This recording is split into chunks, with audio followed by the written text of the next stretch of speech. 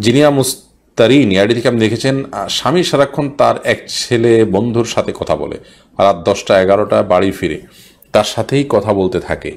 এরপর আলাদা রুমে ঘুমিয়ে পড়ে। ওই ছেলের সাথে কথা বলা নিয়ে কিছু বললে সে চরম অশান্তি করে। তার প্রায় বিভিন্ন জায়গায়, তারা প্রায় বিভিন্ন জায়গায় ঘুরতে যায়। এ নিয়ে মাঝে মাঝে রাগ করে ফেলি। আমার কি গুণা হচ্ছে? না, এর রাগ আপনার বৈধ রাগ, বিশেষ করে যদি আপনি আঁচ করেন যে সে কোনো অবৈধ সম্পর্কের দিকে যাচ্ছে, আল্লাহ মাফ করুক খারাপ সম্পর্কের দিকে যাচ্ছে, তাহলে সেক্ষেত্রে আপনি এটা রাগ করতেই পারেন, বরং মুরব্বীদের মাধ্যমে তার সংশোধন নিজে না পারলে সেই চেষ্টা আপনার করা উচিত। আর যদি এটা নেহায়তি আপনার সূচিবায়ের ব্যাপার থাকে, আপনার নিজের তার প্রতি মানে অহেতুক যেটাকে বলা হয় জল্পনা কল্পনা সংসার সন্দেহ সেরকম কিছু হয়, তাহলে সেক্ষেত্রে এটা পাত্তা দেওয়া উচিত নয়। আপনার সমস্যাটা কোন ধরনের সেটা বোঝার জন্য অন্য কারও সহযোগিতা নিতে পারেন যিনি আপনাকে চিনেন, জানেন এবং বিচক্ষণ ব্যক্তি। মোহসেন এআইডি থেকে আপনি লিখেছেন, বৃষ্টির দিনে কাদা, রাস্তার কাদা কাপড়ে লাগলে সেই কাদা নিয়ে কি নামাজ পড়া যাবে? বৃষ্টির দিনে রাস্তার যে কাদা আছে, এটা কাপড় লাগলে নামাজ পড়তে পারেন, কারণ এটা নাপাক নয়। অপরিচ্ছন্ন হলো নাপাক নয়। ওমে ফারিয়া, আপনি লিখেছেন, স্বামী যদি ব্যাংকে ডিপিএস করে, তারপর ওই টাকা উঠানোর পর সংসারে খরচ করে, তাহলে কি স্ত্রী হিসাবে জেনে শুনে সে টাকা খাওয়া যাবে? যদি পরিপূর্ণভাবে হারাম এরকম কোনো উপার্জন স্বামী নিয়ে আসেন এবং আপনার কাছে বিকল্প না থাকে, তাহলে অন্য উপায় হিসাবে আপনি তার অধীনস্থ হিসাবে এটি আপনি ভোগ করতে পারেন। কিন্তু সেক্ষেত্রে নিয়মিত এরকম করলে আপনার বিকল্প হালাল উপার্জনের পথ বা হালাল ভাবে জীবন ধারণের পথ আপনার খোঁজার চেষ্টা করা উচিত। মোহাম্মদ আহসান হাবিব আপনি লিখেছেন, চার রাকাত ফরজ নামাজের শেষ দুই রাকাত, অনেক সময় সুরা ফাতেহার সাথে অন্য কোনো সুরা পড়ে ফেলি। এক্ষেত্রে নামাজ কি সঠিক হবে?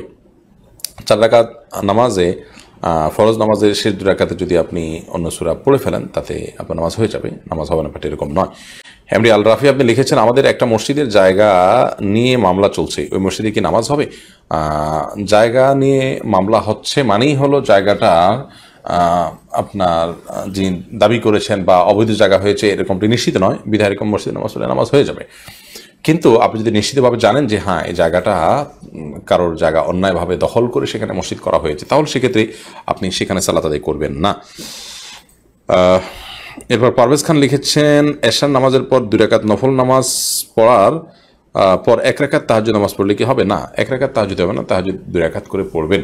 দুই রাকাত ফরজ পড়ার পর মিনিমাম দুই রাকাত আপনি কেমন লাইল বা রাতের নামাজ হিসাবে নিয়ত করবেন।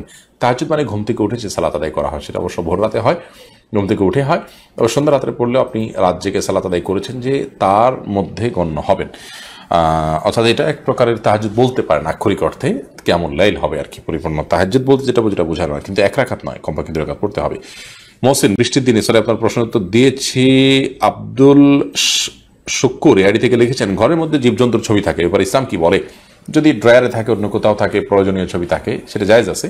কিন্তু ওয়ালে বা অন্য কোথাও যদি টাঙিয়ে রাখেন, সেটা জায়েজ না এবং সে সেখানে রহমতের ফেরেস্তা আসবে না। নবী করিম সাল্লাহ সাল্লাম বলেছেন বুখারী হাদিসে, লা তাদখুল মালাইকাতু বাইতান ফিহি কালবুন আও সূরা। কোনো বাসায় যদি কুকুর বা মানুষের, বা কোনো প্রাণীর আকৃতি থাকে অর্থাৎ টাঙানো থাকে, প্রকাশ্য থাকে, তাহলে সেক্ষেত্রে সেখানে আল্লাহ রহমতের ফেরেস্তা প্রবেশ করবে না। এ কারণে এটি কোনো মুসলমানের জন্য জায়েজ নয়।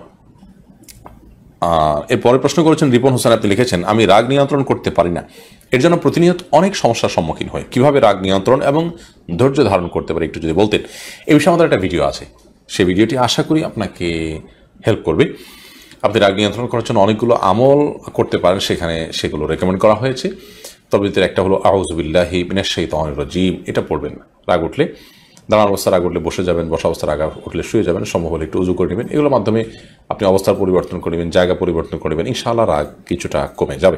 আর নিয়মিত আপনার বদমেজাজ হয়, সেটা নিয়ন্ত্রণ করার জন্য খাবারে আপনি আউজুল্লাহ শেতারাজিম পড়ে সাতবার পরে ফু দিয়ে খাবার, পানীয় এগুলো গ্রহণ করবেন ইনশাআল্লাহ আল্লাহ তালা আপনার রাগকে নিয়ন্ত্রণ করার তৌফিক দিবেন। ধৈর্যশীল মানুষের সংস্রবে থাকবেন, তারা কীভাবে ধৈর্য দান করে এগুলো যত দেখবেন, আপনার মধ্যে ধৈর্য ধরার প্রবণতা আসবে ইনশা আল্লাহ তালা আবুর রাজাক লিখেছেন, আমি আমার কাছে সবসময় একটি লাইট রাখি লাইটার রাখি। উদ্দেশ্য হলো যখন আমার মনে খারাপ চিন্তা আসে বা গুণা করার ইচ্ছা হয়, তখন আমি গায়ে একটু আগুনের তাপ দিই, যাতে নিজেকে মনে করায় যে জাহান্নামের আগুন দুনিয়ার আগুনের চেয়ে বেশি যন্ত্রণা করে। কেউ বলেছে, নিজেকে আগুন দিয়ে এভাবে কষ্ট দেওয়া যায় না, আমি কি ঠিক করছি? আপনি তো নিজেকে পুড়িয়ে ফেলছেন না জাস্ট আঁচ লাগিয়ে নিজেকে আপনার সতর্ক করার চেষ্টা করছেন। আমি মনে করি যে এটি আপনার জন্য গুণা হবে না। আর যদি আপনি নিজেকে পুড়ে ফেলেন, নিজের শরীর পুড়ে ফেলেন, চামড়া ফুলে ফেলেন বা আপনার শরীরের কোনো অংশ পুড়ে ফেলেন সেটা আপনার জন্য জায়জ হবে না। জাস্ট আপনি আঁচ অনুভব করার মাধ্যমে নিজেকে সতর্ক করার চেষ্টা করছেন, জাহান্নামের আজাবের ভয় নিজেকে দেখাচ্ছেন। সেরকম যদি হয় তাহলে ইনশাআল্লাহ সেটি জায়জ হবে। ফাইজা রাকিব লিখেছেন, আমার স্বামীর দেয়া আংটি শ্বশুর নিয়ে বিক্রি করে দিয়েছেন। উনি আমাকে বলেছেন, এ কথা কাউকে বলতে না, শ্বশুর। আমি এবং আল্লাহ জানবে।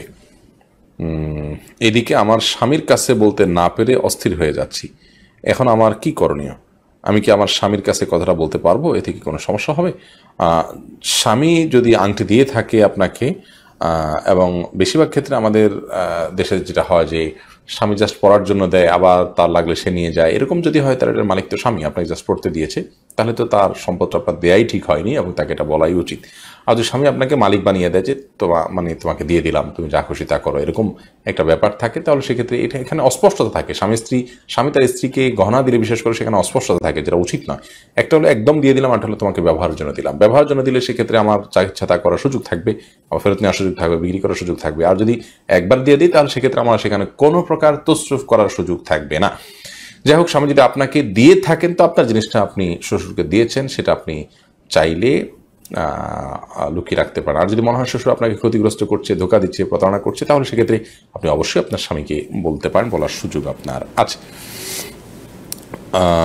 এরপরে নবান্ন নাচ এ আইডি থেকে আপনি লিখেছেন অন্য কারও পাইরেটেড সফটওয়্যার থেকে বানানো পিডিএফ আমার নিজের কাজে ব্যবহার করা কি বৈধ হবে।